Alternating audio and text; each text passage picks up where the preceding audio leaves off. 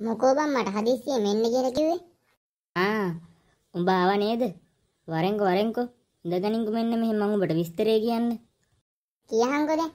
මොකද්ද ප්‍රශ්නේ? මට BS ටිකක් කියලා දියන්කෝ. අයියෝ, ඕක මොකද්ද බං? මං උඹට මුල් ඉඳන් ඔක්කොම ටික කියලා දෙන්නම්. උඹ නම් නියම යාළුවෙක් බං. ඉස්සෙල්ලම අපි බලන්න ඕනේ ව්‍යාපාරයක් කියන්නේ මොකක්ද කියලා. ව්‍යාපාරයකින් වෙන්නේ බං මිනිස් අවශ්‍යතා හා වමනා ඉටු කරන එක. එහෙම කරලා ඒගොල්ලෝ බලාපොරොත්තු වෙනවා ලාභයි ප්‍රතිලාභයි සමාජ සුභ සාධනෙ ඉටු කරන්න. එහෙන් බලපුවාම අපිට ව්‍යාපාර කියන එක අර්ථ දක්වන්න පුළුවන්.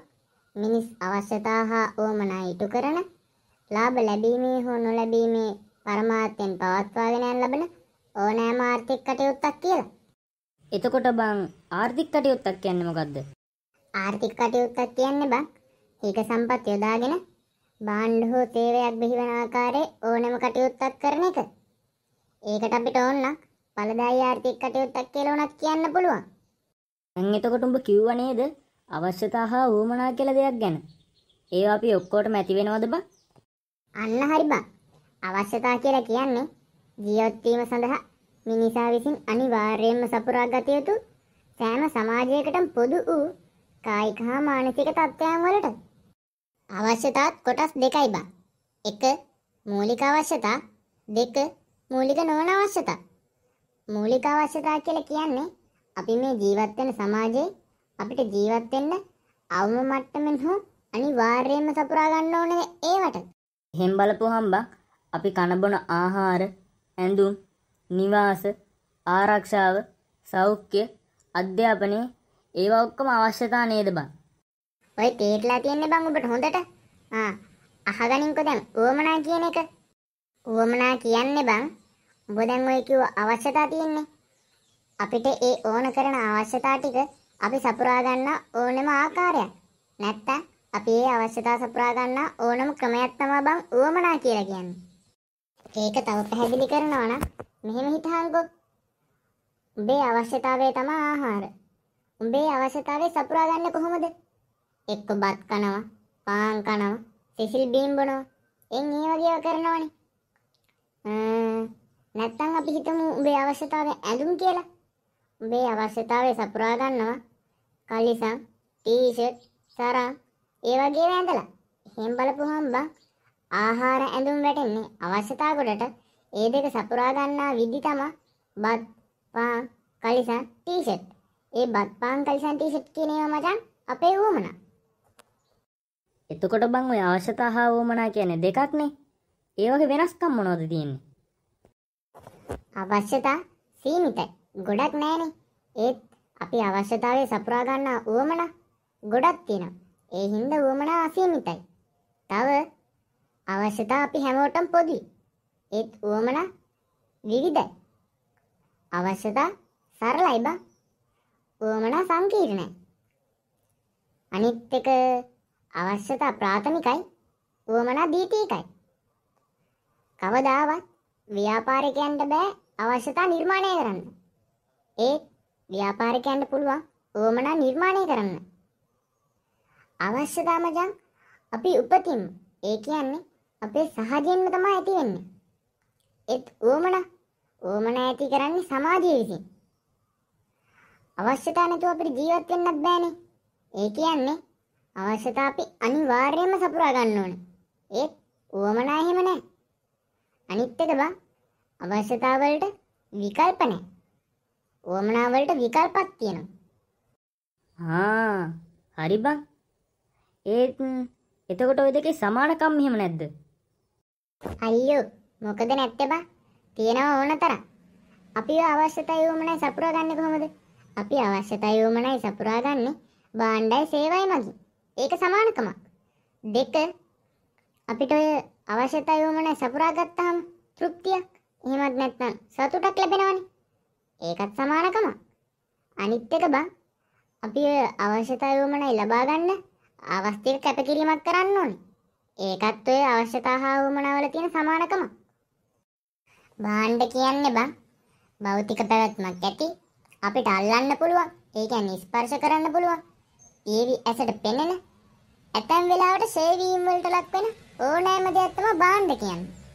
උදාහරණයක් ගත්තොත් ගොඩ නැගිලි, ඉඩම්, වාහන, ලී බඩු ඔය වගේ ගොඩක් ඒවා පුළුවන් අපිට ගන්න. ඒත් බං සේවා එහෙම නැහැ.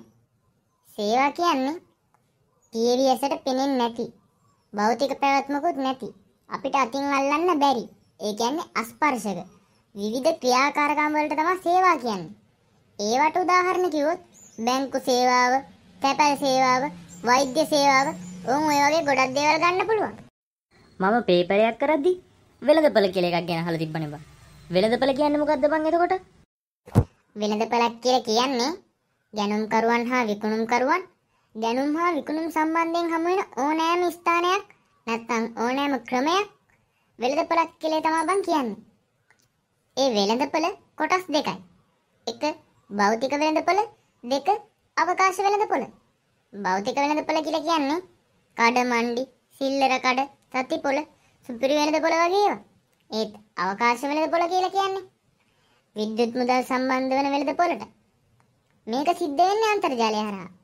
ඒ හින්දා අපි අවකාශ වෙළඳපො- වෙළඳපොළට අන්තර්ජාල වෙළඳපොළ කියලා කියනවා. මේකෙන් මචං අ, ගැනුම්කරුවන් හා විකුණුම්කරුවන් එකට හම්බෙන්නේ නැහැ. එහෙන් බලපුවම් බං අර අවශ්‍යතා හා උවමනා වගේ භාණ්ඩ හා සේවාවලත් වෙනස්කම් තියෙනවනේ. ඔව් බං ගොඩක් තියෙනවා. භාණ්ඩ පීවි ඇසට පේනවා. ඒත් සේවා අපේ ඇසට පේන්නේ. අනිත් එක භාණ්ඩ භෞතික අපිට ස්පර්ශ කරන්නත් පුළුවන්. ඒත් සේවා භෞතික අපිට ස්පර්ශ කරන්න බෑ. භාණ්ඩ පුද්ගලයාගෙන් අපිට වෙන් කරලා ගන්න පුළුවන්. ඒත් සේවා පුද්ගලයාගෙන් අපිට වෙන් කරන්න බෑ. භාණ්ඩ අපිට ගබඩා කරන්නත් පුළුවන්. ඒත් සේවා කොහොමද බං අපි ගබඩා කරන්නේ? අනිත් එක භාණ්ඩ අපිට කොහේ හරි තැනකට ප්‍රවාහනය කරලා අරන් යන්න පුළුවන්. ඒත් සේවා ප්‍රවාහනය කරන්න බෑනේ බං. ඔබ කිව්ව නේද ව්‍යාපාර ලාභ ලබන හෝ නොලබන අරමුණෙන් පවත්වාගෙන යනවා කියලා. එතකොට ලාභ ලබන ව්‍යාපාර මොනවද? ලාභ නොලබන ව්‍යාපාර මොනවද? කේවල සාමි ව්‍යාපාර, හවුල් ව්‍යාපාර, සමාගම්. ඕවා තමයි ලාභ අරමුණු කරගෙන පවත්වාගෙන යන ව්‍යාපාර. ඒත් රතුකුරුස සමාජයේ, සිංහ සමාජයේ, එක්සත් ජාතීන්ගේ ළමා අරමුදල, මරණාධාර සමිති, ක්‍රීඩා සංවිධාන ඔවුන් ඔය වගේ ඒවා පවත්වාගෙන යන්නේ සමාජයේ සුබ සාධනය සඳහා. මේවට ලාභයක් නැති හින්දා පවත්වාගෙන යන එක ගොඩක් ගැටලුවක් නේද? ඒත් බං මේ මේවා පවත්වාගෙන යන්න අවශ්‍ය අරමුදල් හොයාගන්නේ කොහොමද දන්නවද? සමාජික මුදල්, පරිත්‍යාග, කොඩියලවිය, සල්පිල් හා ප්‍රදර්ශන පැවැත්වීම, ආයතනයේ පැරණි උපකරණ විකිණීම, අන්න ඔය වගේ ඒවාගෙන් තමයි ඒවට අවශ්‍ය අරමුදල් හොයාගන්නේ. එතකොට මොනවාද බං ওই ව්‍යාපාරික අරමුණු කියලා කියන්නේ? අලෙවිය හා ලාභය වැඩි කර ගැනීම. ඒක තමයි ප්‍රධාන එකක් විදියට එන්නේ. අලෙවිය හා ලාභය වැඩි කර ගැනීම ඊට පස්සේ සමාජ සුබසාධනය ඉටු කිරීම, සේවක සුබසාධනය ඉටු කිරීම, වෙළඳපොළ තුල අකණ්ඩව රැඳී සිටීම, පුළුල් වෙළඳපොළක් ඇති කිරීම, ඒවා වගේ ඒ වගේන් පස්සේ ආලා වෙළඳපොළ නායකයා වෙන්න බලාපොරොත්තු වෙනවා. ඊට පස්සේ පරිසරය ගැන සැලකිලිමත් වීම, හරිත නිෂ්පාදනය බිහි කිරීම, ඔන්න ඔය වගේ ඒවා තමයි ව්‍යාපාරික අරමුණු වලට එන්නේ. එතකොට ව්‍යාපාරික කටයුතු කියන්නේ ව්‍යාපාරික කටයුතු තියෙන්නේ දෙකයි බං. ඒවා සෑම ව්‍යාපාරයකටම පොදුයි. එක මිනිස් අවශ්‍යතා හා වුවමනා ඉටු කිරීම. දෙක සම්පත් වලට අගයක් එකතු කිරීම. මම ඔබට උදාහරණයක් කියන්නම්. ඔබ හිතහන්කෝ භාණ්ඩ කර්මාන්තය. භාණ්ඩ කර්මාන්තය කියන්නේ ලීබඩු කර්මාන්තය. මේ ව්‍යාපාරයෙන් සිද්ධ කරන්නේ ජනතාවට අවශ්‍ය ඩෙස්, පුටු, මේස, ඇඳන් ආදී අවශ්‍යතා ඉටු කරලා දෙන එක. වනයේ තියෙන ස්වාභාවික දැව කපාගෙන ඇවිල්ලා දැව ඉරලා එම දැව භාණ්ඩ බවට පත් කරලා ඒවට වටිනාකම නැත්තම් අගයක් එකතු කරලා තියෙනවා. මම බලහන් අර ප්‍රධාන ව්‍යාපාරික කටයුතු දෙක තියෙන්නේ. ඒ දෙකම මේ ව්‍යාපාරයෙන් ඉටු වෙලා නේද? එතකොට බං ව්‍යාපාර කටයුතුයි ව්‍යාපාර කාර්යනුයි කියන්නේ දෙකක්ද? ඔව් බං. ව්‍යාපාර කාර්යයන් කියන්නේ අපි ඉස්සෙල්ලා කතා කරපු ව්‍යාපාර කටයුතු ඉටු කරගන්න අ, ව්‍යාපාර අනුගමනය කරන කාර්යයන් වලට. ව්‍යාපාර කාර්යයන් තමයි නිෂ්පාදනය හෙවත් මෙහෙයුම් කටයුතු, අලෙවිය හා බෙදා හැරීමේ කටයුතු මානව සම්පත් කළමනාකරණය මූල්‍ය සම්පත් කළමනාකරණය තොරතුරු කළමනාකරණ කටයුතු අය පරිපාලන කටයුතු පරිවේෂණ හා සංවර්ධන කටයුතු ඔව් ඔය වගේ ඒවට තමයි බං අපි කියන්නේ ව්‍යාපාර කාර්යයන් කියලා එතකොට බං ව්‍යාපාරවල ගති ලක්ෂණ ඒ කියන්නේ මොනවද? ඒ ගති ලක්ෂණ මොනවද? ඕනෑම ආර්ථික කටයුත්තක් ව්‍යාපාරයක් වෙන්න නම් අනිවාර්යයෙන්ම තිබිය යුතු අංග නැත්නම් ගති ලක්ෂණ කීපයක් තියෙනවා. එක කුමන හෝ ආර්ථික කටයුත්තක නිරත වෙන්න ඕන. දෙක ලාභෙන් අභිප්‍රේරණය වෙන්න ඕන. ඒ කියන්නේ ලාභය වැඩි වෙන්න වැඩි වෙන්න ව්‍යාපාරිකයා සතුටින් හා උනන්දුවෙන් ව්‍යාපාරයට කැප වෙලා වැඩ කරන්න ඕන. තුන භාණ්ඩ හා සේවා ගනුදෙනුවක් කරන්න ඕන. ඒ කියන්නේ බා එක් පාර්ශවයකට භාණ්ඩ හෝ සේවාවක්ද ඒ වෙනුවෙන් අනිත් පාර්ශවය විසින් මුදල්ද ගලාගෙන එන්න ඕන කියන එක.